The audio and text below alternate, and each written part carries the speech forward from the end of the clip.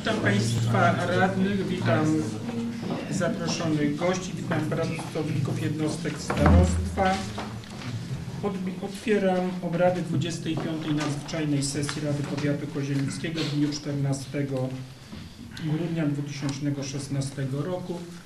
Sesja ta odbywa się na wniosek zarządu powiatu. Na podstawie listy obecności stwierdzam prawomocność naszych obrad.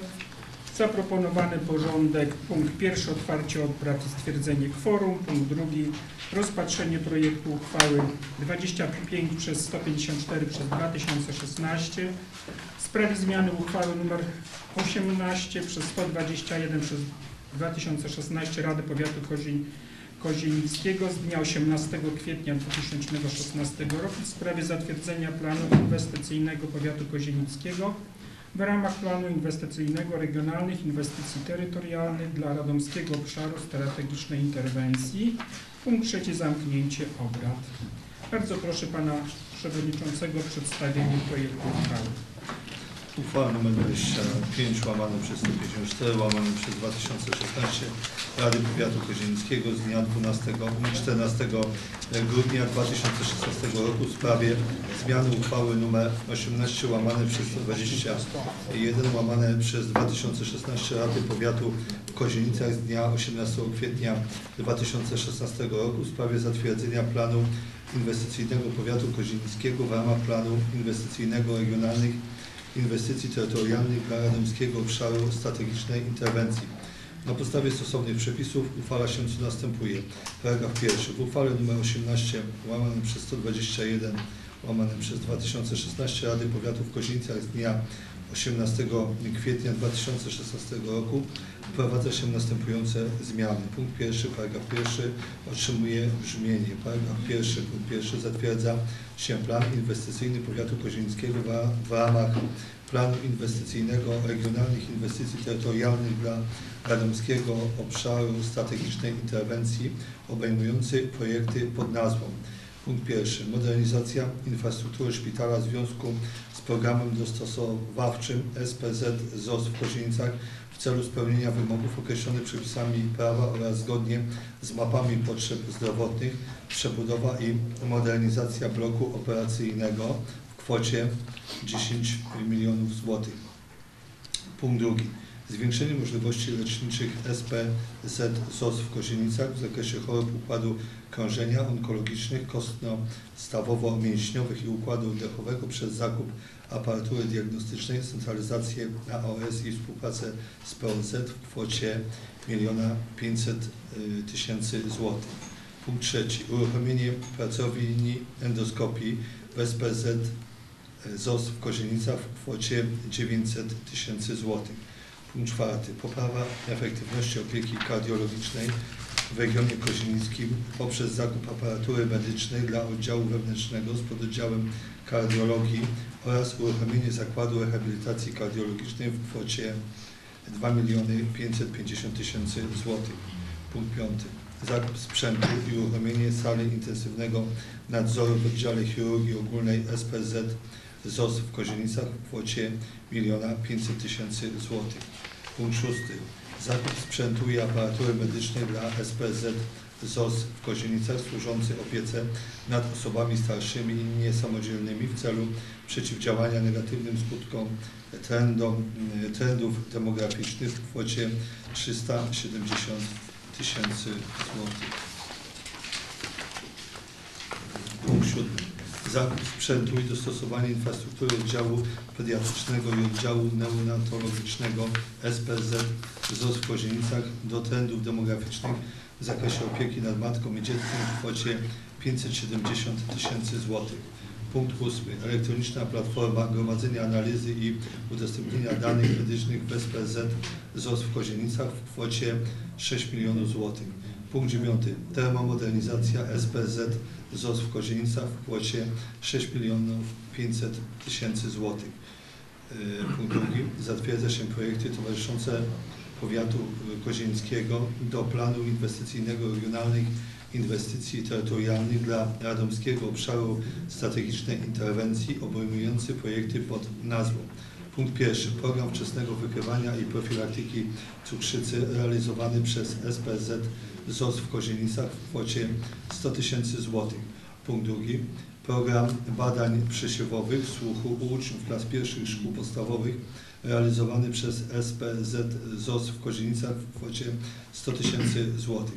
Punkt trzeci. Plany wskazane w ustępie pierwszym i drugim stanowią załącznik do niniejszej uchwały. Paragraf 2. Wykonanie uchwały powierza się zarządowi powiatu. Paragraf 3. Uchwała wchodzi w życie z dniem podjęcia. Dziękuję bardzo. Bardzo proszę do projektu tej uchwały pytania Państwo. Macie już.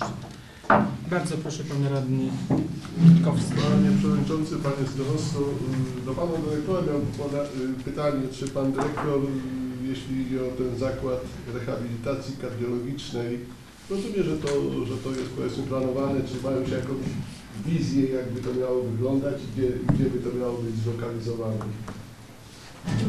No, byłoby w ramach oddziału yy, Tam jest pomieszczenie takie, które było wcześniej wykorzystane na, na pracowni, na, na właśnie zakład rehabilitacji kardiologicznej. Yy, Wyposażenie jest określone w materiałach, jakie są niezbędne, to, to jest yy, 6 cyklometrów yy, i oprogramowanie do tego i tak dalej. Także sala, sala była wcześniej wykorzystywana, później ten program, yy, ten, ten, ten, ten zakład został zlikwidowany, teraz to jest jakby jego reaktywacja. Czy jeszcze mogę mieć do, dodatkowe pytanie do tego pytania, które zadał Pan doktor? Czy to będzie e, oddział rehabilitacji kardiologicznej, czy pododdział, który będzie przyjmował z zewnątrz? Czy no, tylko pacjentów, którzy będą kontynuować leczenie oddziałowe? Wiemy, że to dotyczy najczęściej osób po e, zawałach serca, po operacjach zastawek i innych rzeczy. Yy, Będzie przyjmowana również z zewnątrz, dlaczego, dlatego że jest to kontraktowane przez Narodowy Fundusz. Pan radny Wysocki, bardzo proszę. Ja mam takie pytanie, bo zawsze już parę razy mówiłem, że powinna się odbyć sesja tylko poświęcona służbie zdrowia szpitalowi i uważałem, że pewne rzeczy powinniśmy przedyskutować, jak, no, jak działać i jak projektować działania na przyszłe lata w oparciu o, o te wszystkie y, zadania, które wynikają z audytów i innych rzeczy, ale jest jak jest. Należy się cieszyć, że są to y, tak piękne pieniądze i, i w miarę możliwości, ale mnie interesuje, na ile no, te pieniądze rozwiążą problemy naszego szpitala i dwa, drugie pytanie, na ile to było skonsultowane z załogą, czy one ujmują wszystkie ich jakby oczekiwania, czy, czy raczej to jest w iluś procentach tylko y, zapewnione przez te, przez te środki unijne. Bardzo proszę Panie Dyrektorze. No, są to zadania, część zadań, które szpital realizuje i te, te y, pieniądze rozwiązują y, te y, no, zadania związane głównie z y, y, dostosowaniem y, się do wymagań przepisów prawa, które, obowiązują, w związku z czym no, tam nie ma życzeń, że, że to byśmy chcieli, znaczy nie wprowadzamy jakichś usług, które by wynikały z, z, z chęci personelu i tak dalej. To są rzeczy, które musimy zrobić, wymagają tego od nas przepisy prawa. To, to są rzeczy po prostu oczywiste. No, Odgórne. no, większe. No, oczywiście tam jest program badania cukrzycy, czy badania słuchu u dzieci, to są rzeczy, które po prostu robimy ekstra. Y, Czy, czy właśnie y, ten, ta rehabilitacja kardiologiczna, która będzie dodatkowo wytraktowana. Natomiast pozostałe rzeczy to służą, służą po prostu rozwiązaniu problemów szpitala bieżących, które ma związane właśnie z, z przepisami prawa, dostosowaniu się do przepisów, na przykład y, y, informatyzacja y, jest związana z, z elektroniczną dokumentacją medyczną, która też ma określone terminy, właściwie już obowiązuje, już powinna wejść, polega na tym, że po prostu znikają wszelkiego rodzaju dokumenty papierowe ze szpitala. No to są, to są rzeczy, inwestycji, które wynikają z przepisów. Znaczy, czy ta rehabilitacja to będzie stacjonarna, czy taka Yy, ambulatoryjna? ambulatoryjna. Dziękuję. Czy ktoś jeszcze Państwa do tej uchwały chciał coś zapytać, zabrać głos? Nie widzę, przystępujemy do głosowania. Kto z Państwa radnych jest za przyjęciem uchwały, proszę o podniesienie ręki. Dziękuję. Kto jest przeciwny? Nie widzę.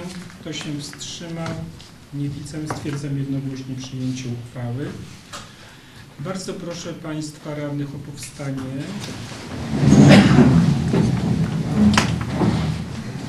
Chciałbym w obecności Wysokiej Rady zwrócić się do mieszkańców powiatu kozienickiego. Wraz z nadejściem świąt Bożego Narodzenia niech nadzieja i radość zapuka do Waszych drzwi.